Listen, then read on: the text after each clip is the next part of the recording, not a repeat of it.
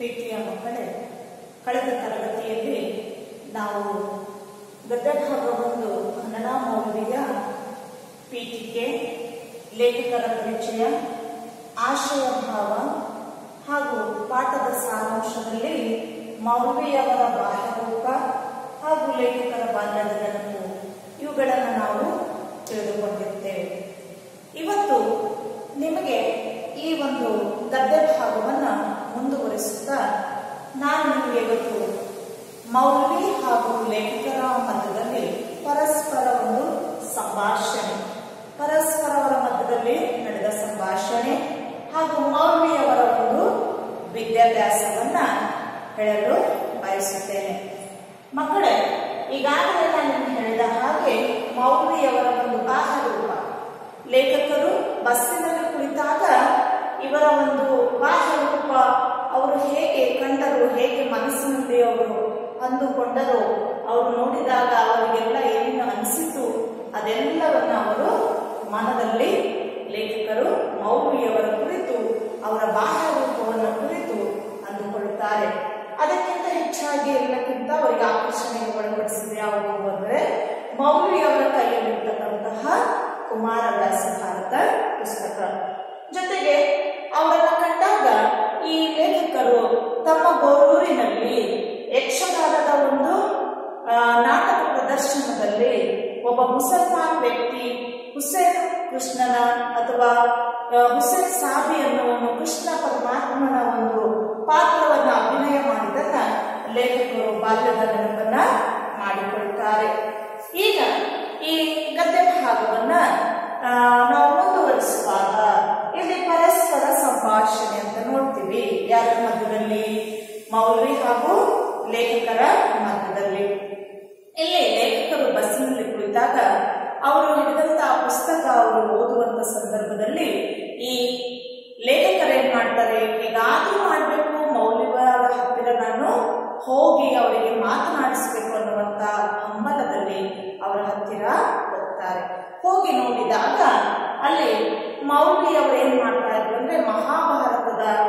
ಹದಿನೆಂಟು ಪರ್ವಗಳಲ್ಲಿ ಉದ್ಯೋಗ ಪರ್ವ ಅನ್ನುವಂತ ಒಂದು ಸಂಧಿಯ ಭಾಗವನ್ನ ಅವರು ಓದುತ್ತಿದ್ದರು. ಪರ್ವ ಅಂದ್ರೆ ಒಂದು ಗ್ರಂಥದ ಭಾಗ ಅಂತ ಹೇಳ್ತೀವಿ ಅಥವಾ ಸಂಧಿ ಅಧ್ಯಾಯ. ಅದನ್ನ ಇವರು ಓದುತ್ತಿರುವ ಸಂದರ್ಭದಲ್ಲಿ ಲೇಖಕರಿಗೆ ಇನ್ನೂ ಅವರ ಮನಸ್ಸಿನಲ್ಲಿ ಏನಾಗ್ತದೆ ಅಂತಂದ್ರೆ, ಅನಿರ್ವಚನೀಯವಾದ ಬಾಂಧವ್ಯ ಅವರಲ್ಲಿ ಉಂಟಾಗುತ್ತದೆ ನಾನು ಮೊದಲೇ ನಿಮಗೆ ಪದಗಳ ಅರ್ಥವನ್ನ ಬರೆಸಿದ್ದೇನೆ. ಅನಿರ್ವಚನೀಯ ಅಂತಂದ್ರೆ ಮಾತಲ್ಲಿ ವರ್ಣಿಸಲು ಸಾಧ್ಯವಾಗದ ಎಂದು. ಮಾತಲ್ಲಿ ವರ್ಣಿಸಲಾಗದಂತ ಬಾಂಧವ್ಯ ಅವರ ಪರಸ್ಪರ ಅವರಲ್ಲಿ ಉಂಟಾಗುತ್ತದೆ. ಜೊತೆಗೆ ಅವರು ಇನ್ನೂ ಅವರ ಹತ್ತಿರ ಹೋಗಿ ಆ ಒಂದು ಸಂದರ್ಭದಲ್ಲಿ ಜಾತಿ, ಭಾಷೆ, ಪ್ರಾಂತಗಳ ಒಂದು ಗೊಂದಲವು, ಅಂಧಕಾರವು ಅಡಗಿರುವ ಅಥವಾ ಮುಸುಕಿರುವ ಸಂದರ್ಭದಲ್ಲಿ ಒಂದು ಮಿಂಚು ಒಂದು ಬೆಳಕು ಕಳೆದಂತೆ ನಮ್ಮ ಲೇಖಕರಿಗೆ ಮೌಲ್ಯವನ್ನು ಕಂಡಾಗ ಅನಿಸುತ್ತದೆ.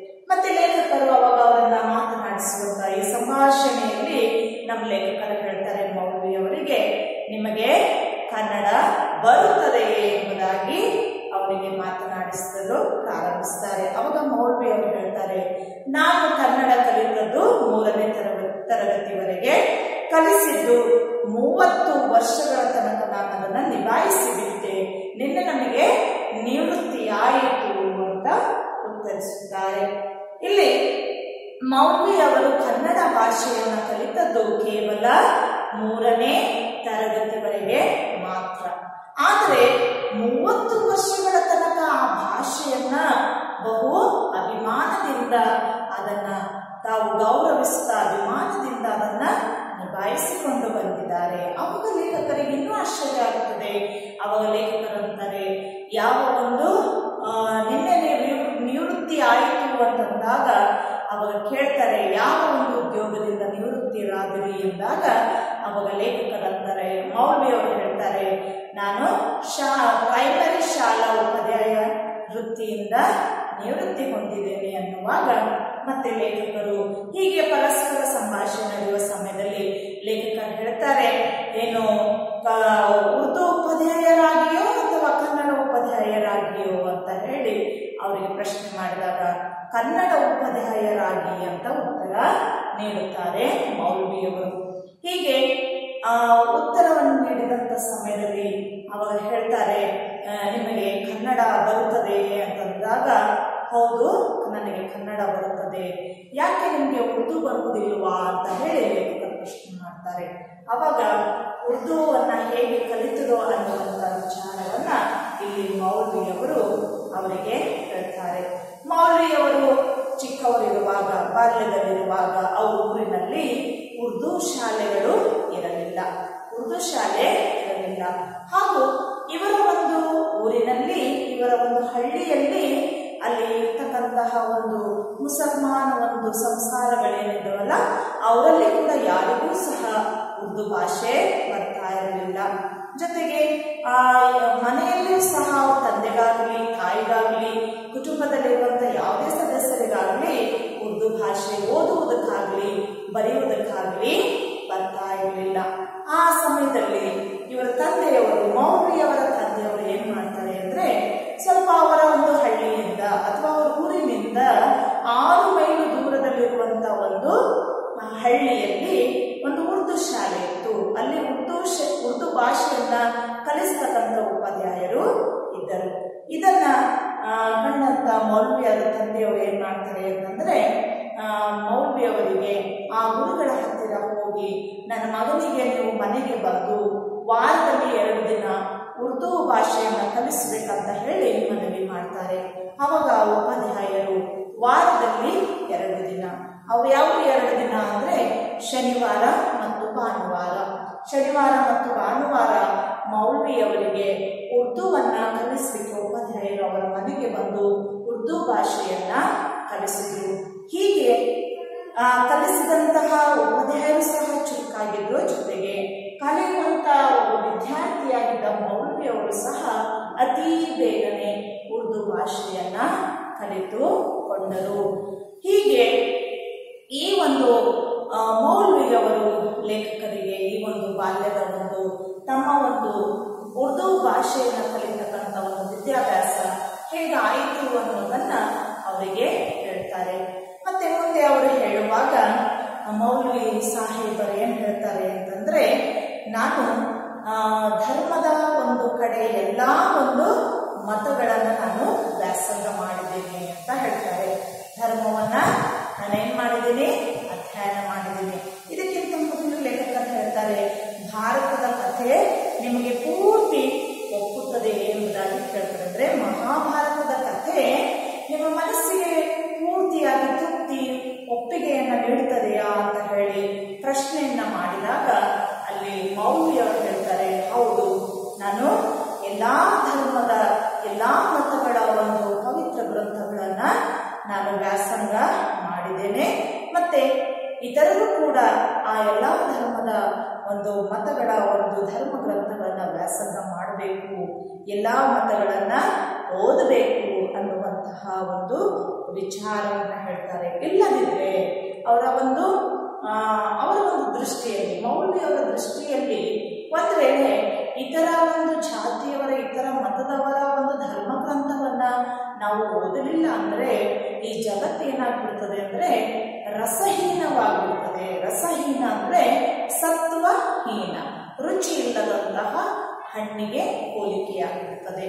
ಅದಕ್ಕೆ ಮೌಲ್ವಿ ಹೇಳ್ತಾರೆ, ಎಲ್ಲಾ ಮತಗಳನ್ನ ನಾವು ಗೌರವಿಸಬೇಕು, ಜೊತೆಗೆ ಆ ಮತದ ಒಂದು ಗ್ರಂಥಗಳನ್ನು ಸಹ ನಾವು ಓದಬೇಕು ಅನ್ನುವಂತ ಅವರ ಒಂದು ಅವರಲ್ಲಿ ಇರುವಂತ ಈ ಸದ್ಗುಣವನ್ನು ನಮಗೆ ಈ ಗದ್ಯ ಭಾಗದಲ್ಲಿ ಎತ್ತಿ ತೋರಿಸ್ತದೆ. ಹೀಗೆ ಹೇಳ್ತಾರೆ ಮೌಲ್ಯ ಅವರು, ಯಾವ ವಿಧದಲ್ಲಿ ಈಗ ಒಂದು ಉದ್ಯಾನವನ ಇರ್ತದೆ, ಒಂದು ಗಾರ್ಡನ್ ಇರ್ತದೆ. ಅದರಲ್ಲಿ ಒಂದೇ ತರದ ಹೂವಿನ ಗಿಡವನ್ನು ಹಚ್ಚಿದ್ರೆ ಏನಾಗ್ತದೆ ಅದು ಅಷ್ಟು ಸುಂದರವಾಗಿ ಕಾಣೋದಿಲ್ಲ ಅದರಿಂದ ಒಂದು ಉದ್ಯಾನದಲ್ಲಿ ಯಾವ ಯಾವ ರೀತಿಯಾಗಿ ನಾನಾ ಬಗೆಯ ಒಂದು ಹೂಗಳು ಹೇಗೆ ಇರುತ್ತವೆಯೋ, ಅದು ಎಷ್ಟು ವಿವಿಧವಾಗಿ ಸುಂದರತೆಯಿಂದ ಕಾಣಿಸ್ತದೆಯೋ ಹಾಗೆ ಎಲ್ಲೆಲ್ಲೂ ಕೂಡ ಈ ಒಂದು ಎಲ್ಲ ಮತಗಳನ್ನ ನಾವೇನ್ ಮಾಡಬೇಕು? ಓದಿದಾಗ ಅದು ನಮಗೆ ಅದರ ಒಂದು ಮನನ ಮಾಡಿದಾಗ ನಮಗೆ ಅದರಲ್ಲಿರುವಂತಹ ಉನ್ನತವಾದ ಉದ್ದಾಂತ ತತ್ವಗಳು ಅಡಕವಾಗಿರುವುದು ನಮಗೆ ತಿಳಿದು ಬರುತ್ತದೆ ಎಂದು ಮೌಲ್ವಿ ಅವರು ಹೇಳ್ತಾರೆ. ಅಷ್ಟು ಮಾತ್ರವಲ್ಲ ಮೌಲ್ವಿಯರು ಹೇಳ್ತಾರೆ ನಾನು ಮಹಾಭಾರತ, ರಾಮಾಯಣ, ಭಗವದ್ಗೀತೆ ಪುರಾಣ ಎಲ್ಲ ಗ್ರಂಥಗಳನ್ನು ನಾನು ಓದಿದ್ದೀನಿ. ಎಲ್ಲ ಧರ್ಮ ಗ್ರಂಥಗಳು ನಾವು ಹೇಳುವುದೇನೆಂದರೆ ಮನುಷ್ಯನು ಒಳ್ಳೆಯವನಾಗಿರಬೇಕು ಅನ್ನೋದನ್ನೇ ಎಲ್ಲ ಒಂದು ಮತದ ಧರ್ಮಗಳು ನಮಗೆ ತಿಳಿಸಿಕೊಡುತ್ತವೆ ಅನ್ನುವಂತಹ ಒಂದು ವಿಚಾರವನ್ನು ವ್ಯಕ್ತಪಡಿಸುತ್ತಾರೆ ಇಲ್ಲಿ ಮೌಲ್ವಿಯವರು ಈ ಒಂದು ಮಾತನ್ನು ಲೇಖಕರಿಗೆ ಹೇಳುವಂಥ ಸಂದರ್ಭದಲ್ಲಿ ನಮಗೇನು ತಿಳಿದು ಬರ್ತದೆ ಅಂದರೆ, ಮೌಲ್ವಿಯವರು ನಿಜವಾಗಿಯೂ ಎಲ್ಲ ಮತದವನ್ನು ಗೌರವಿಸ್ತಕ್ಕಂಥ ವ್ಯಕ್ತಿ ಸದ್ಗೃಹಸ್ಥ ನಾವು ಅಂದರೆ ಒಳ್ಳೆಯ ಮನೆತನದಿಂದ ಬಂದಂಥ ವ್ಯಕ್ತಿ ಎಂಬುದಾಗಿ. ಹಾಗೆ ಇವರ ಒಂದು ಒಳ್ಳೆತನ ನಮಗೆ ಇವರು ಎಲ್ಲ ಒಂದು ಧರ್ಮಗಳನ್ನು ಗೌರವಿಸುವುದು ಅವುಗಳನ್ನು ಧ್ಯಾನ ಮಾಡ್ತಕ್ಕಂಥದ್ರ ಮೂಲಕ ನಮಗೆ ತಿಳಿದು ಬರ್ತದೆ. ಹೀಗೆ ಇಲ್ಲಿಯ ತನಕ ನಾವು ವಿದ್ಯಾರ್ಥಿಗಳೇ ಮತ್ತು ಮಕ್ಕಳೇ ಪ್ರೀತಿ ಲೇಖಕ ಪರಿಚಯ ಆಶೀರ್ಭಾವ ಹಾಗೂ ಪಾಠದ ಸಾರಾಂಶದಲ್ಲಿ ನಿಮಗೆ ಮೌಲ್ಯವರ ಬಾಹ್ಯ ರೂಪ ಲೇಖಕರ ಬಾಲ್ಯದ ನೆನಪು ಅವರ ಪರಸ್ಪರ ಸಂಭಾಷಣೆ, ಹಾಗೂ ಮೌಲ್ಯವರ ಒಂದು ವಿದ್ಯಾಭ್ಯಾಸವನ್ನ ಇಲ್ಲಿವರೆಗೆ ನಾನು ನಿಮಗೆ ತಿಳಿಸಿರುತ್ತೇನೆ. ಇದನ್ನು ನೀವು ಸರಿಯಾಗಿ ನೆನಪಿನಲ್ಲಿ ಇಟ್ಕೊಳ್ಬೇಕು ಪಾಠದ ಮುಂದಿನ ಭಾಗವನ್ನ ಮುಂದಿನ ತರಗತಿಯಲ್ಲಿ ನಿಮಗೆ ತಿಳಿಸುತ್ತೇನೆ.